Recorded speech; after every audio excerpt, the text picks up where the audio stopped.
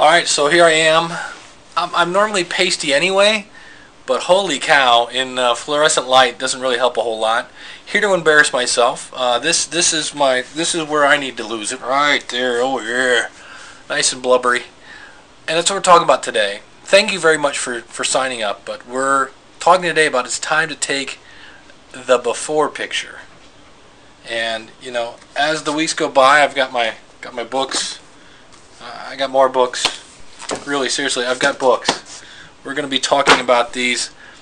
But the first place is we want to take that before picture, get that baby printed at your local drugstore, put one on your fridge, put one wherever you want. But because someday you're going to look at that picture and you're not even going to recognize the person in the picture. And so it means we have to take accountability to go, yep, yeah, this is where I'm starting from. It's not where I want to be and it's not where I'm going to be for long. So take your before picture. That's today's homework. And you can list this on your Spark page if you want to. I have mine there. It's not pretty, uh, although I'm not quite as glowing white as I am now.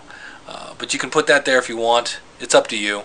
And uh, it's a good reminder of where you're pushing away from the before picture. That's today's homework.